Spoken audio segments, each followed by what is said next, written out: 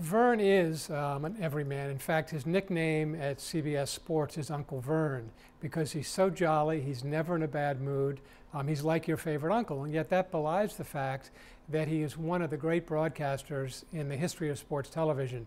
But when Verne walks into a stadium, whether it's a, a football stadium or whether um, it's a college basketball arena or a golf course, he is treated like a celebrity and he wears his celebrity mantle so comfortably. He's never ever mean to anybody. He's the same when he's talking to a fan or a production assistant as he is when he's talking to a chairman. He has that everyman quality that has never left him despite the fact that he's one of the lions of our industry.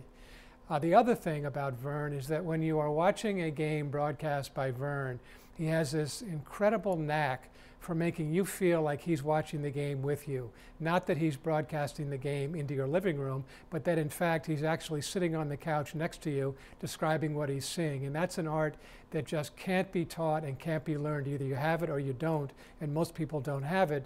Verne does have it.